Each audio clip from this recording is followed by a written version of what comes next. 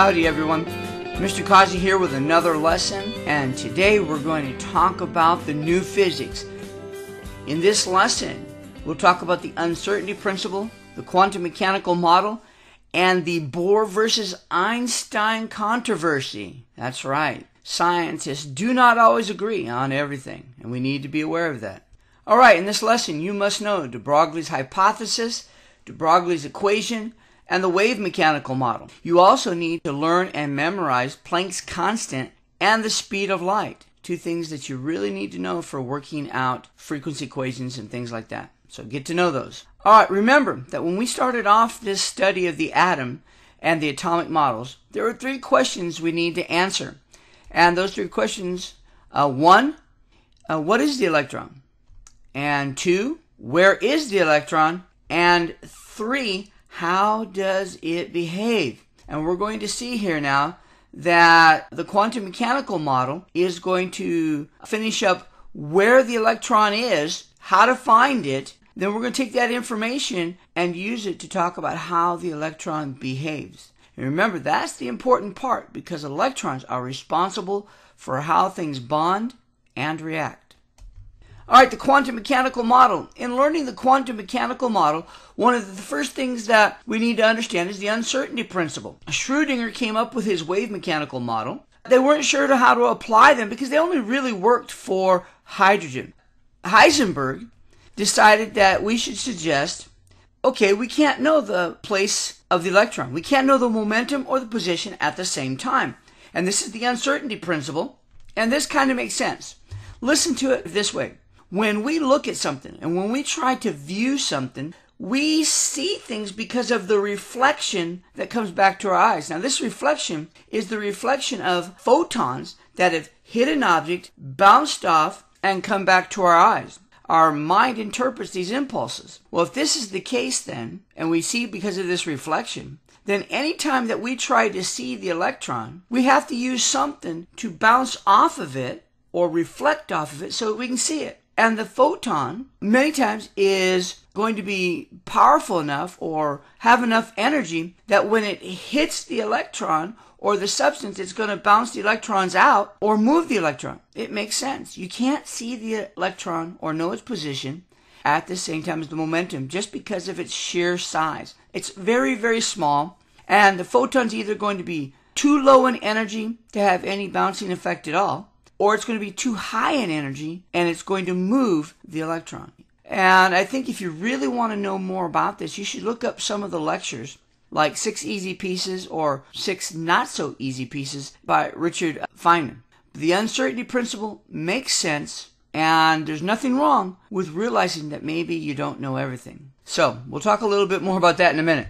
Quantum mechanics Max Born said, hey, if the uncertainty principle is true, then why not work with that? Take the Schrodinger equations and realize they're just mathematical possibilities. And so he suggested that the solutions to Schrodinger's equations be used as possible positions for the electron. Now, these wave equations put together by Schrodinger are pretty complicated, and you can go uh, look some of them up.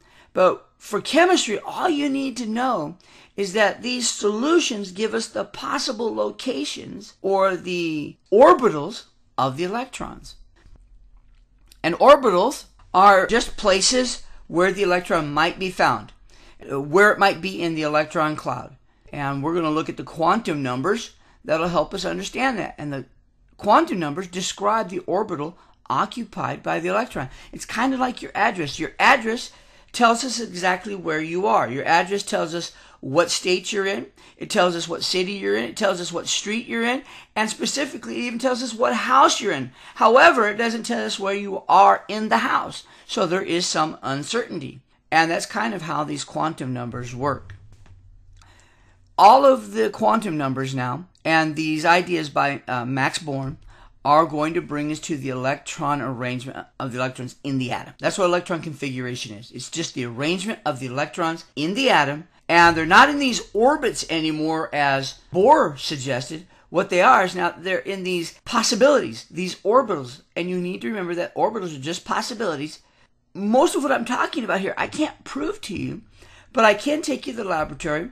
we can make some predictions based on these electron configurations and they're workable. And so there's a major word here you need to remember, and that word is workable. Science is not truth. Science is workability. And we take that workability and we use it, we develop technology with it, and then the technology helps us improve our workability. And when we get new data, we just write new theories. So, the quantum model is mostly space, has a positive nucleus. Now we know that's protons and neutrons inside of the nucleus. We know that there are negative electrons.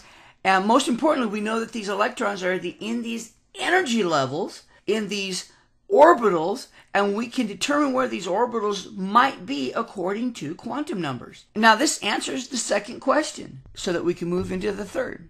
Now, with all this about the quantum mechanical model, let's remember here that not everyone agreed with Bohr or Max Born. Max Born produced his ideas, and Max uh, or um, Niels Bohr thought these ideas were great, but Einstein and Schrödinger could not accept the uncertainty principle. Schrödinger, who came up with the wave equations, could not accept the uncertainty principle.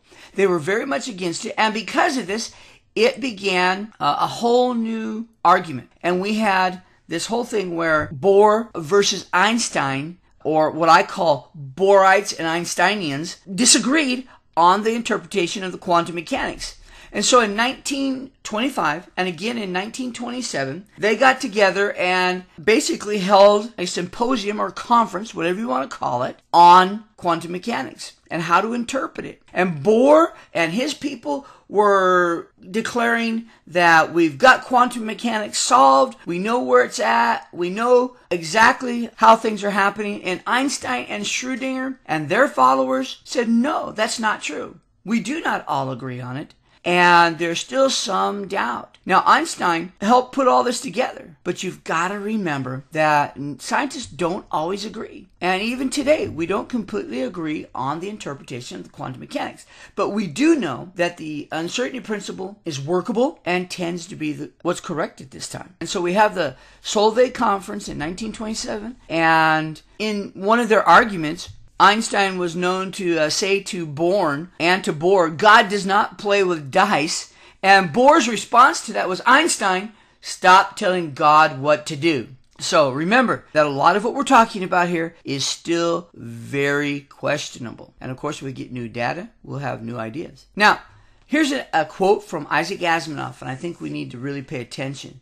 The existence of uncertainty need not be a source of humiliation for science if a tiny but crucial uncertainty is part of the fabric of the universe. It is a tribute to scientists who have discovered the fact.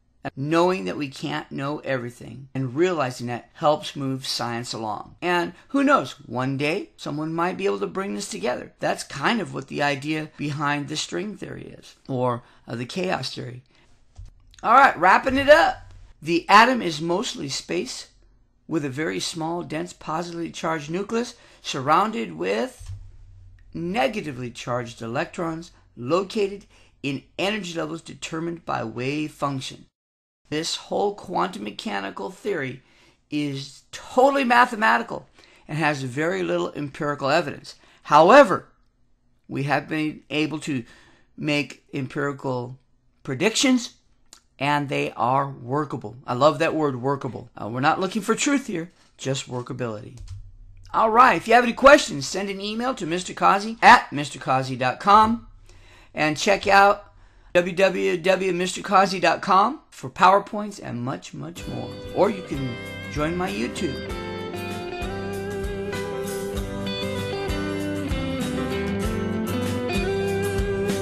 All right, everyone. Happy ion.